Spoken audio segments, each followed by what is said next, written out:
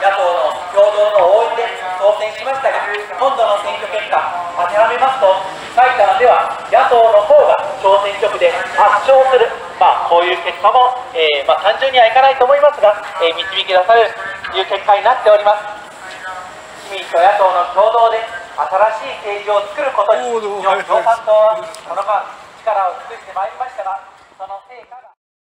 大きく伸ばすために、どうかさらなるお力添えいただきますよう、どうぞよろしくお願いをいたします。